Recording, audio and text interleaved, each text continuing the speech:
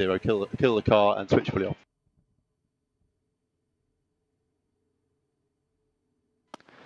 Understood.